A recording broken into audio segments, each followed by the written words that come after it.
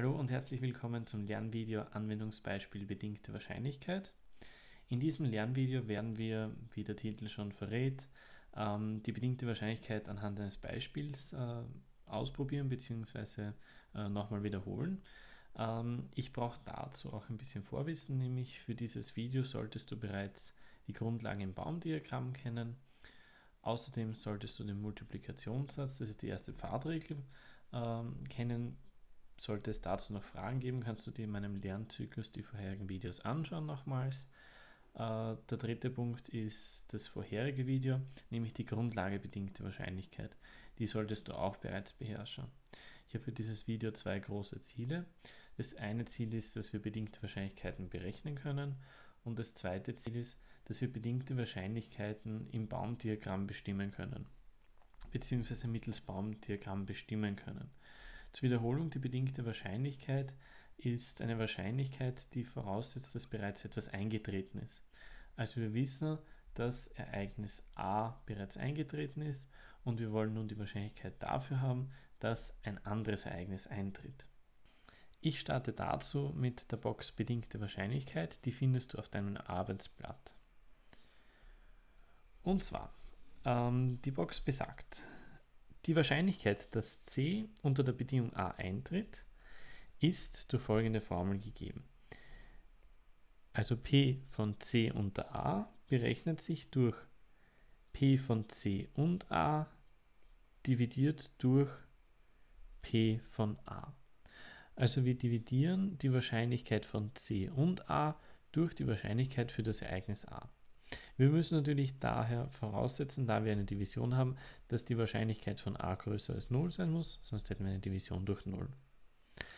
Diese Formel werden wir im Laufe des Videos noch öfters verwenden. Damit sie dir allerdings klarer ist, woher sie kommt, möchte ich, dass du folgende Aufgabe erledigst. Und zwar versuche die obige Formel mittels erster Pfadregel, also mittels Multiplikationssatz, herzuleiten. Also erkläre, warum diese Formel für zweistufige Laplace-Experimente gilt. Gut, notiere dir natürlich deinen Lösungsweg und halte das Video dazu an. Wenn du fertig bist, kannst du das Video fortsetzen.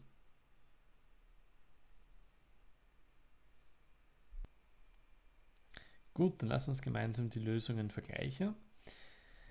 Ich habe dazu vom vorherigen ähm, Video bzw. von der vorherigen Box das Baumdiagramm nochmals verwendet zur Erklärung. Das Baumdiagramm findest du jetzt rechts unten bei mir. Ähm, schauen wir uns das gemeinsam an. Wir sollen das Ganze bzw. diese Formel anhand der ersten Pfadregel erklären.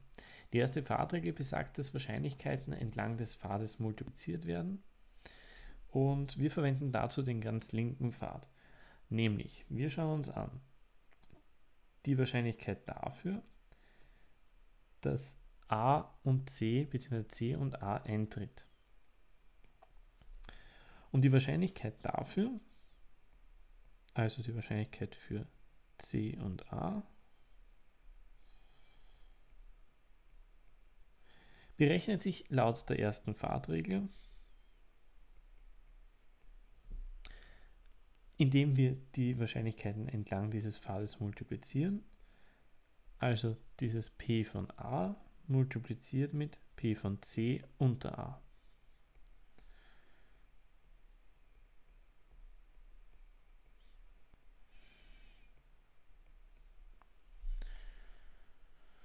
So, diese, diesen Zusammenhang kennen wir bereits aus der ersten Pfadregel. Und jetzt brauchen wir diesen Teil. Daher formen wir diese Gleichung um und dividieren durch p von a. Wir brauchen jetzt natürlich die Bedingung, dass p von a größer als 0 ist.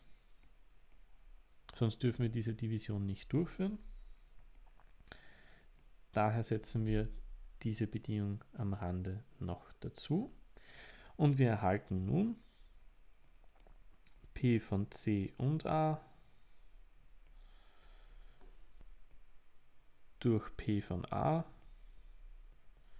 ist gleich P von C unter a.